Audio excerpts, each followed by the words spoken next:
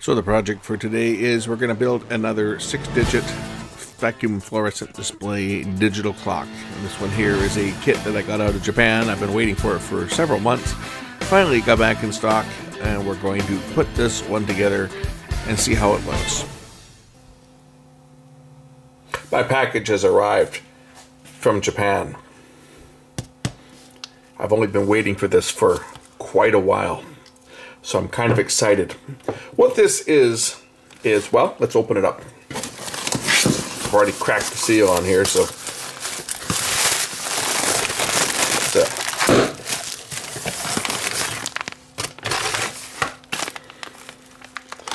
It's a VFD modular clock. Vacuum fluorescent display. These units are fairly rare. Because they haven't made the VFD tubes for a number of years.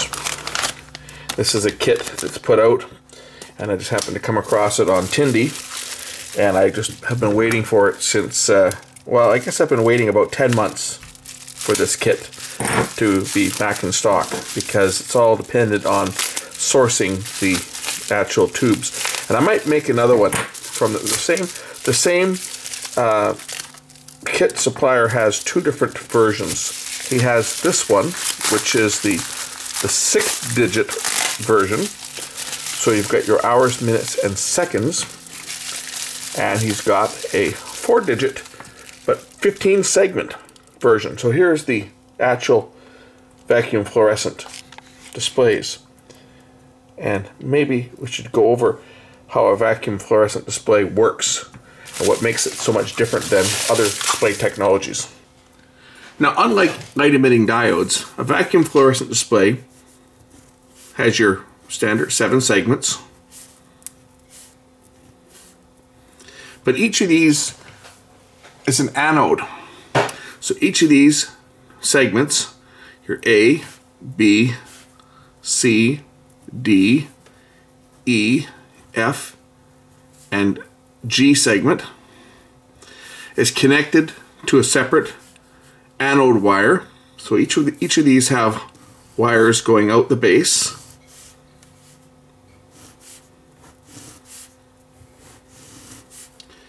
And here. So you got your your segments. These each form the plate of a vacuum tube or the anode. And in front of these, there's a screen, and then there's a, a cathode, which is a filament. If we were to look at a cross section, if you had your, if this was your, your anode plate with all of your anodes in it, and the wiring coming down the back of the tube for the different segments. In front of this, there's a screen. Screen mesh, which is given a negative voltage. So these, these ones are all positive voltages to control the actual segments. This is given a negative bias voltage, and then there's a filament in front.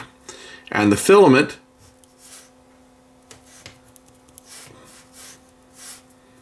is either given an AC or a DC voltage. Now what the filament does, so the filament would be in front of the tube here. What the filament does is it gets hot and when it, just as in a vacuum tube, this is your cathode, it it, it causes electrons electrons to be emitted from the filament and they are attracted to the positive plate. Now the screen that's in front of it here, if we put the screen here, the screen is like a mesh and it is given a, a negative bias voltage that tries to repel the electrons so that they don't land on the the plates or the cath or the anodes and cause them to illuminate until the voltage is sufficient, the positive charge on the anode to cause the electrons to flow through that grid. If we were to take a, a close-up look at the tube itself, which we can do here, let me just bring the camera down low so we can actually see what I've tried to illustrate because it's a little easier to see if we actually look at the tube itself. So if we look at the inside of the tube here, if I rotate the tube around, you'll see that the wires that connect it to the outside world are on the back side of the tube here. And here's the, the structure. You can see the grid in front of the, the uh, segments. And then right in the very front here, you'll see a very fine wire. That's the that's actually the cathode that is heated up. And that's what bombards the electrons into the, the vacuum. This is under a high vacuum. You can see it's got a getter on here. Now, the difference between this and a Numitron, which I built a Numitron clock before. My goal is to have all the, the different formats of, of displays. I want to build a clock in each format. The only one I don't have right now is a Panaplex, and I had one years ago. And unfortunately, I built it when I was in high school, and I, I've talked about this before, but my, my teacher that we referred to affectionately as Mr. Bonehead, because, well, he was a bonehead. um, he had us put uh, solder paste on the board to solder acid, solder acid paste that you would use in plumbing, and it well, it just destroyed the copper traces, and that clock died a early demise. I threw it out because the board was shot. Kicking myself. I should have kept it and rewired it, but it was one of those things, you know, that didn't work, and I just junked it. But anyway, the uh, Numitron, the tubes look very similar to this, but they're not a fluorescent display. They actually are made up of actual incandescent filaments, so they operate at a low voltage. These operate at a higher voltage, typically you know 50 to 60 volts is what's required because it's a vacuum tube. And it's interesting because people have actually made these into a, a type of a triode and used them as a triode tube, believe it or not, because you got a filament, you got a screen, and you've got a plate. So you can actually use this as an amplifying tube. This is, uh, I've always I've got a couple of uh, vacuum fluorescent display clocks that, that I've made by salvaging the display from an old clock, right? An old VCR or an old clock, but they only typically have the hours and the minutes. And I've always, I always like six-digit clocks. There's something about watching the seconds count, right? Like my my six-digit uh, Nixie tube clock. It's nothing like watching the seconds just count on it. Just just running in the background with the seconds counting looks kind of cool. I found this kit. It's a six digit. As I say, they've also got a four digit which uses the 15 segment, which which is an alphanumeric display, and it basically uses the same main board as this. It's just a different uh, it's just a different interface. But in this video, we're going to construct this clock, and uh, I'll put a link to it. And uh, if anybody wants to buy one, you can get them out of, right from the supplier in Japan. Just keep in mind that you may be on a waiting list because these uh, are pretty scarce. He doesn't sell a lot of them because, again, just getting these tubes are is is is a, is a, problem because they they haven't made these. And these, as you can see, these are I think these are Russian tubes in here. Yeah, these are Russian uh, VFD tubes. So they are getting to be relatively rare these days, and of course, the, the more scarce they get, the more people want them, right? So anyway, I'm going to put those aside for safekeeping. Let's get on with the build. And for you guys interested in where it came from, well, that's where I got it from. And they sell this on Tindie.com.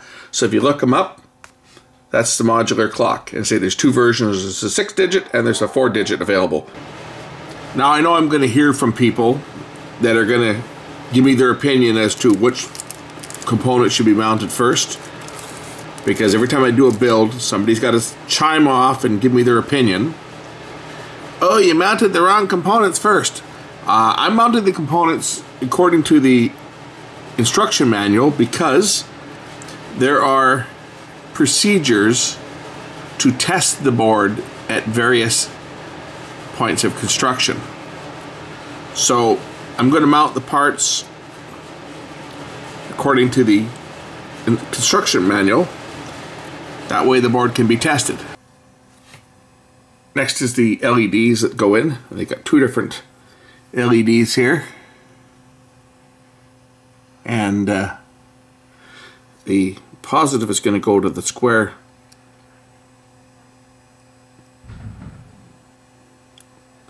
hole and the the negative or the cathode going to the round hole according to the manual.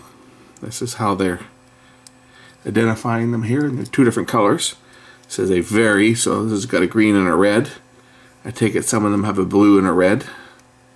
But we'll just mount those two LEDs there. and tack them down to the board the same way. Next we'll install the buzzer. Polarity is not important on the buzzer. Now I noticed a major problem with the instruction manual is that they've got the color codes for the resistors printed incorrectly. So uh, we're going to find that out a little bit later on, but uh, I hope the values were correct, but the color codes for the values that they actually printed in the instruction manual are incorrect. So that may cause some people confusion. It certainly did for me for a bit until I looked at it and realized there was an error. Okay, now we're ready for the first test.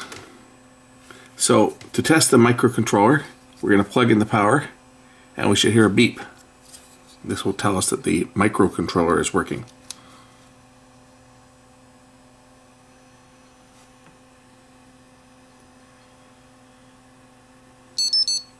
Okay, so that tells us that the microcontroller is working. Okay, now what's the next thing it says to do here? It says should hear a beep after a few seconds, and then if I press and hold the reset button for a short while, it, it, it then reset it. It should you see the LED is marked L pulse after it stops after it stops pulsing. The uh, it, unit will beep again. So I press and hold the switch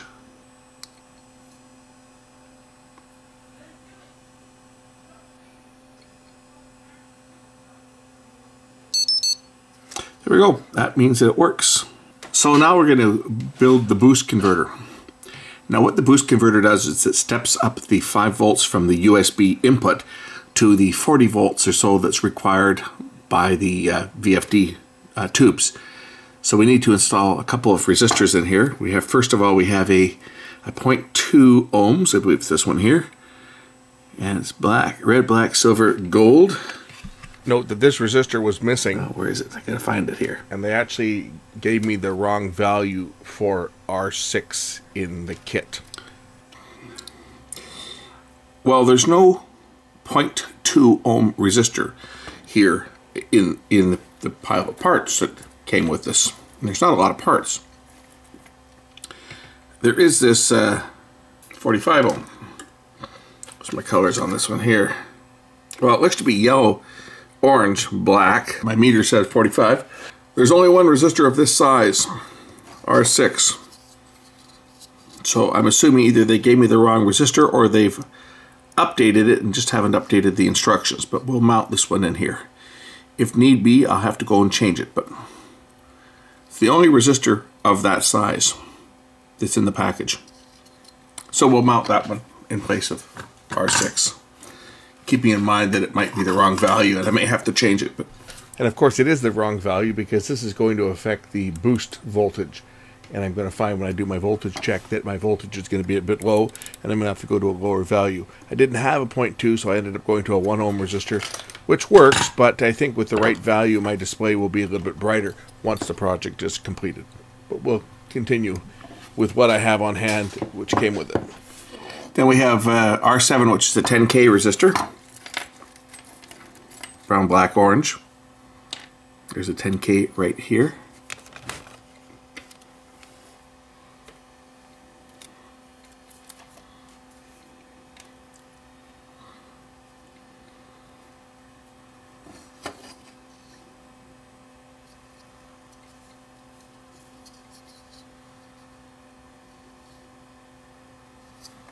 R7 is mounted right down here next to the max 1771.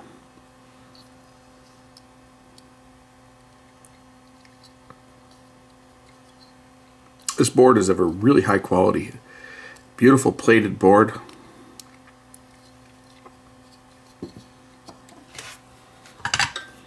Obviously a Japanese board, being a Japanese kit from Japan. It's got the really good quality Japanese board.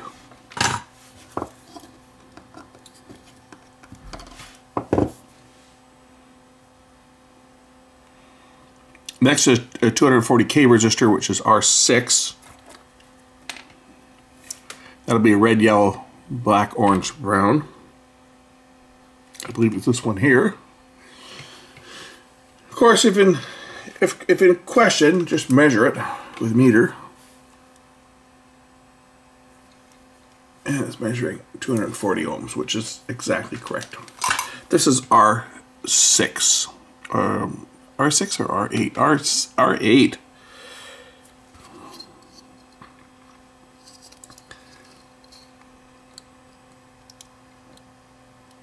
That last one didn't go in proper, did it? It must have slipped up because I uh, have this big buzzer mounted on it. I'm going to hear it from the critics out there that, yeah, that's why you don't mount the taller parts first. Yes, I know, I know. Proper kit building, you mount all the small parts first. But I'm doing this, as I say, because this is the order that they're asking me to put the parts in. Next is C1, which is a 10 microfarad electrolytic cap. It is polarized and the board is marked with a little minus sign for the negative. And C2 is the other capacitor, which is this one here. Again, the board is marked positive and negative. This one's going to lie flat like that. We're going to have the inductor next, which is this piece here. This is a 22 microhenry inductor. Inductor goes here.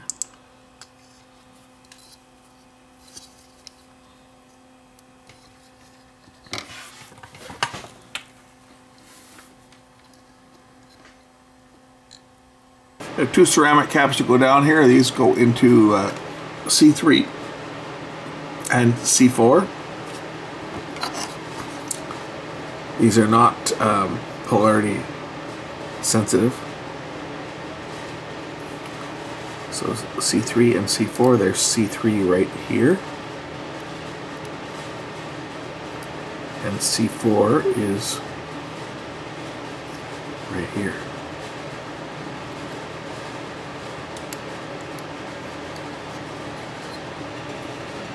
Next we'll mount the diode.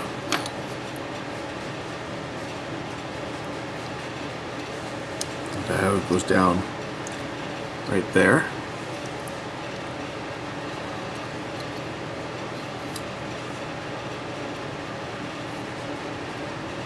Okay, next we'll mount the MOSFET. Bend the leads down here and place the MOSFET into the board. The MOSFET's going to be secured, secured down to the board so that the board can act as a heat sink for it.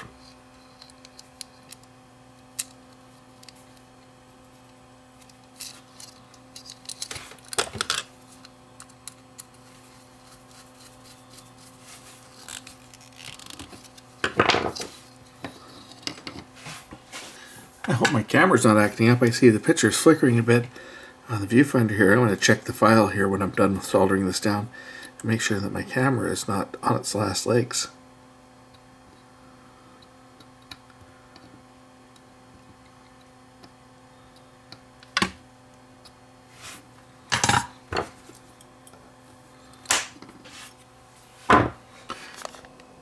Next we uh, have to open up the caution static sensitive devices bag and retrieve the sockets for the ICs. So we have two sockets to go in, two 8-pin sockets.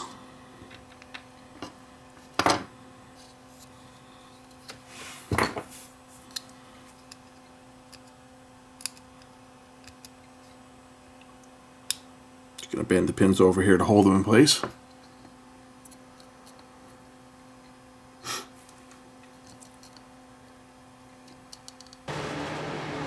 So now we're going to install the first IC here. This is the Max 1771, which is this one here.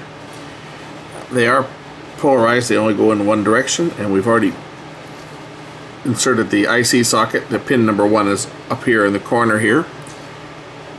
The notch and pin one is indicated here. This one goes into this socket. This is the driver for the uh, for the MOSFET for the boost converter. So pop that into the circuit. we should probably be ready for testing the boost converter now. So we need to use the multimeter this time. So we're going to test the voltage. So I'm going to turn the multimeter on, set it for DC voltage. And what I need to do is I need to mark the or measure the pin that's marked HV. We're going to put the black probe on the two pins marked ground, which is over here. And the 5 volts is tested to here, and the high voltage is tested over to here. So we're going to power the unit up. Now we'll get the meter in here, and we'll just test the voltages. So uh, ground, and we'll test the 5 volt supply. We have 5 volts. And the other one that we're testing is the one marked HV. And that is over here. HV to ground. And I have 19 volts, which is low. But you know what? That's probably because this resistor is the wrong value. They supplied me with the wrong value of resistor. So let's just uh, change that resistor out because that should be closer to 50 volts. Okay, now I've got the resistor changed to a 1 ohm resistor. Let's take a look and see if we get our, our 50 volts or 60 volts or whatever it's supposed to be. See if our high voltage comes up now like it's supposed to. Okay, here's the meter.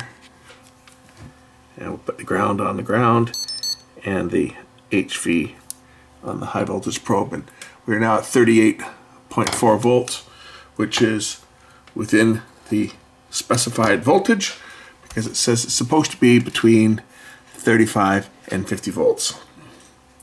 So we're getting 38 volts.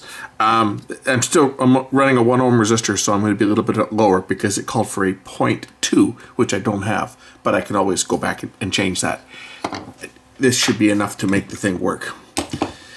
Um, okay, so we've got our 5 volt and 42 volt voltages. Well, close enough. Now we can put the rest of the components on the miscellaneous components. So we'll put the remaining resistors. There's two 4.7 uh, k ohm resistors. They'll be yellow, violet, orange, and they're R2 and R3. Of course, I'm reading off the screen. It says 2, point, 2 times 4.7 k ohm resistors, yellow, violet, orange. No, yellow, violet, red. 4700, 4700, not 47k the instructions are incorrect. This is uh, R2 and R3. So they go right down here. R2 and R3 is right here on the board.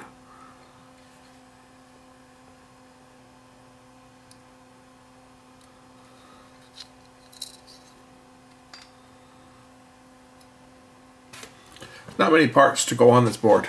There's actually not a lot in this. And it's one of the simpler kits to put together. Nothing like the old, like the Nixie tube, which you got tons of parts on them, right? And there's two 10K. And uh, they've got the they've got the colors wrong here as well. There's five 10K. Where are they? Um, where are the rest of them here? Are 1, 9, 10, 11, and 12. 10K is brown, black, orange. You know, I just realized something. This is a Jinglish manual. The Japanese to English translation on this is probably one of the worst I've seen. Um, I don't know whether I've got the right values and the right resistors now because the color codes they're calling out are not the color codes correct. Like they'll say a they'll say a a 10K resistor and then they'll say brown, black, yellow. Well, it's not, it's brown, black, orange. And the 1K resistors they called out as brown, black, orange. So is it supposed to be a 1K or is it supposed to be a 10K? Well, um, that's a good question because now I now I'm kind of questioning this because this manual, plus the fact that some of the parts that they've supplied me were incorrect, I'm basically basing it on the, the count of the parts. I'm going to ignore what colors they say things are supposed to be on the manual because, well, every one of them so far has been wrong. I shouldn't say everyone, but a lot of them have been wrong. So I'm back on track now with the right resistors here, I think. I hope. these ones are all the right ones. My voltages are right, so. But I think what's happened is when someone translated this, it's a Japanese kit, and when someone's translated the manual, they've translated it wrong. The two remaining capacitors, C5 and C6. Looks like 7, there's nothing there. We're getting down to finishing this board. There's not many more parts left to go on here. And then it'll be to do the, uh, the display tubes, mount them to their board, mount the headers, and plug them in. Okay, I've got a 10 microfarad ceramic uh, cap here. And this is this one. And it's C7.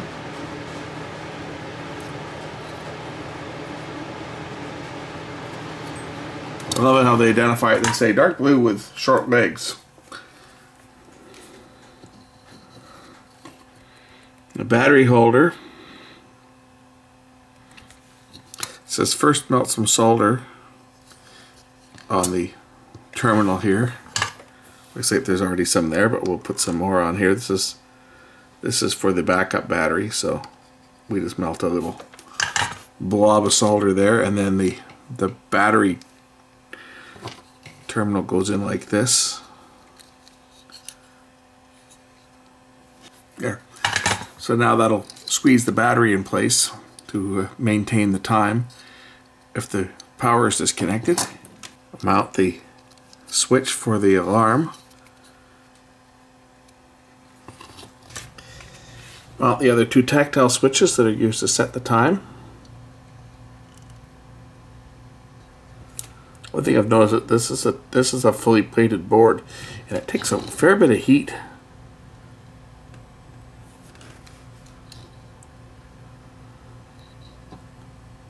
It's like my solder doesn't even want to flow properly on this board unless I get it really hot. Next is this big IC socket. Say what they call a PLCC 28 socket. This is inserted so that the square uh, shape matches out of the PC board. So there's one side that's got a flat outline. And so that's the way that the socket is going to go in. Just like this.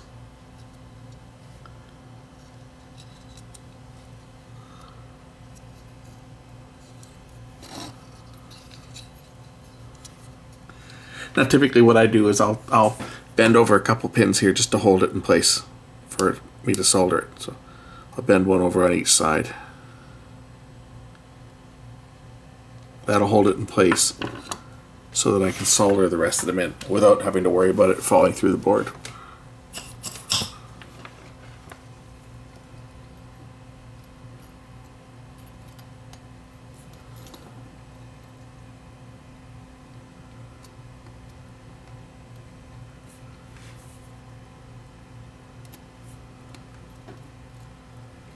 So next we'll install the EEPROM and the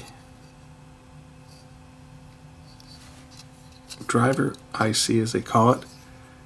And then we've got the the HV5812. This is the high voltage driver IC. It only goes in one way. And you got to be careful that you put it in the right way the first time because you need to specialized equipment to pop these things out once they've been placed.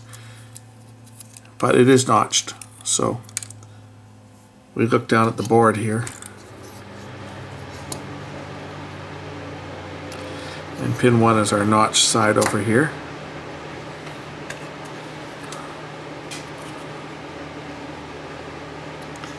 Here's our notch there.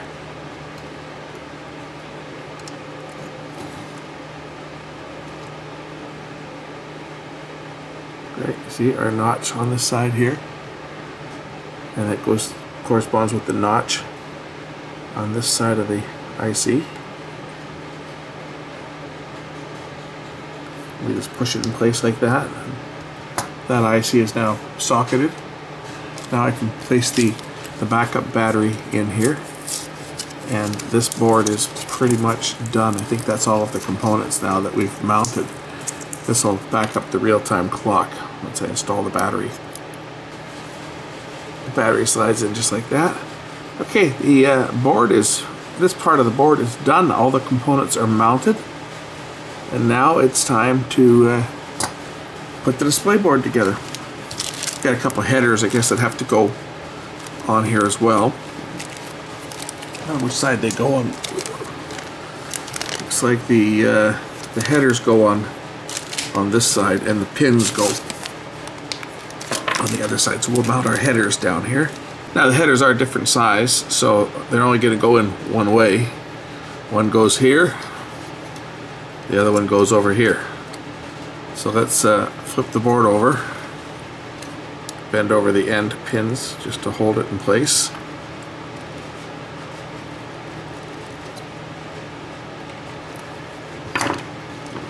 Yeah, that will hold it, and then I can solder it. And that will complete this board.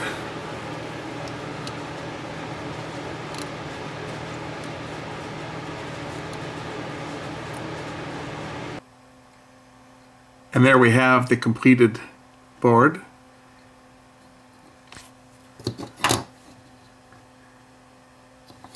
And now it's time to uh, mount the display, mount the uh, tubes to the display board and get the project finished. Well, it's time to mount the tubes.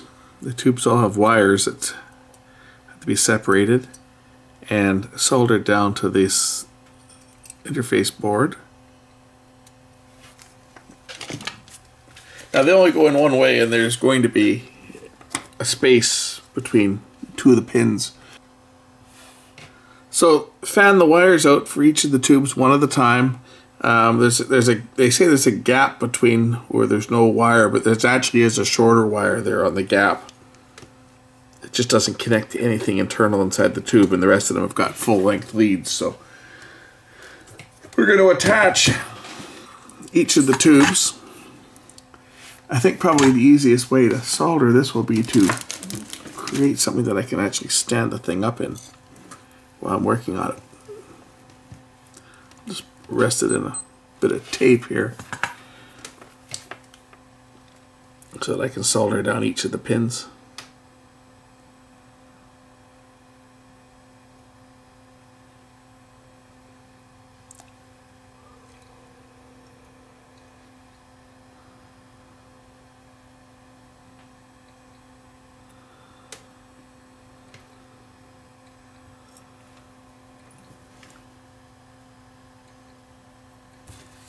we clip off the excess lead and move on to the next tube.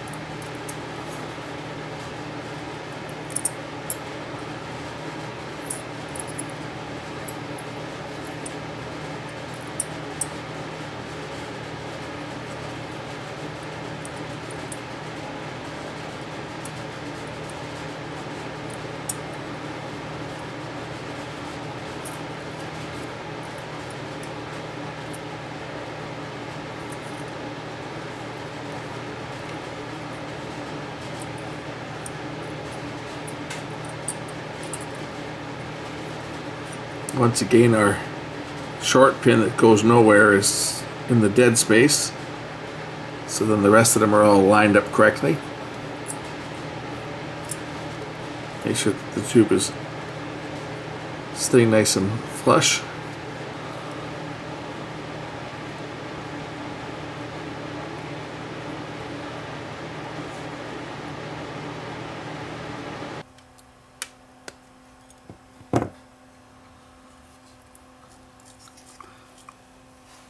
That's two tubes mounted. I'm going to mount the remaining four tubes and we'll be back to finish this off. Okay, I've got the uh, tubes all mounted now. We have just the resistors. There's six resistors and the headers to go on. So the resistors mount through from the bottom of the board here. The job of the resistors is to provide a negative bias voltage to keep the tubes in cutoff state until they are called for by the multiplex circuit. Uh, by providing a negative voltage, it will repel the electrons being emitted from the cathode. Uh, when you want to illuminate a single tube, because what it does is it strobes from from one tube to the next, you reduce that negative bias to that specific grid, which will then attract more electrons towards the plate and uh, the the anodes and light up the segments that are raised to their positive potential to light up those segments. You have to count all the pins out and uh, bend them all over and then try and solder them down into these little grooves. I guess compared to feeding them through holes like the uh, the uh, other one that I built that used tubes of a similar type design, that would be the the uh, Numitron. You put all the the, the uh, pins through holes and pulled them tight, and then soldered them in. They a little easier to solder in once they were actually mounted to the board itself. Anyway, those are resistors. Let's uh, tack down the resistors and complete the rest of the unit. So now I'm going to just solder down these. There's actually two pins that don't line up with anything on the front here, which is a little different. But um, the rest of them all line up here, so we're going to solder these down and hopefully it's going to work.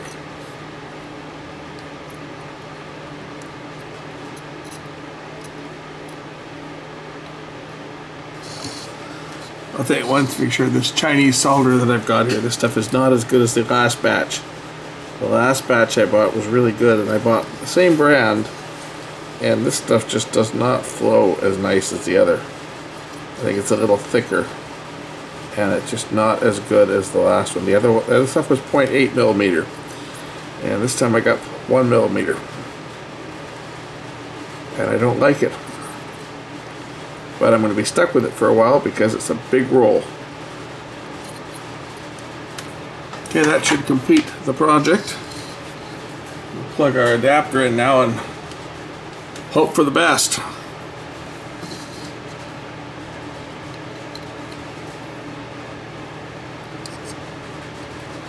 Is it going to light up? Or is it not? It's lighting up. And we're just checking all the segments to make sure that they all light up. Looks like they do. Now you gotta set, figure out how to set this thing. Let's set the date on this thing if I can figure this out. Okay, I press the set button. It says 1201. I haven't set the set it yet. And uh, okay, it says 120205. It's what time it thinks it is. Uh, how do I set this? I click 24 hour mode. Uh, auto date. Alarm, brightness, date, uh, year, 14, 15, 16, 17, month, December, right? Yeah. So 12, day, it's the 24th.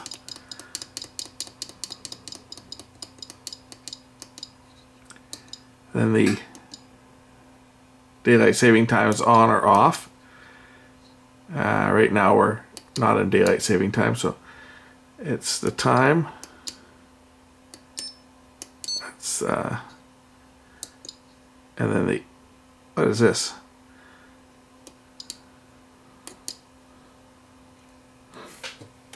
Gonna display the date for me. Okay, gotta get through here and find the hours. Brightness, date.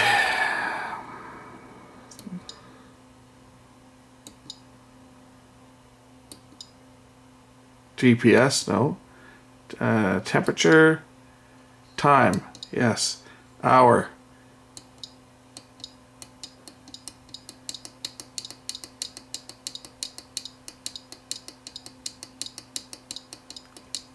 Twenty-three hours and thirty-eight minutes. There's minute.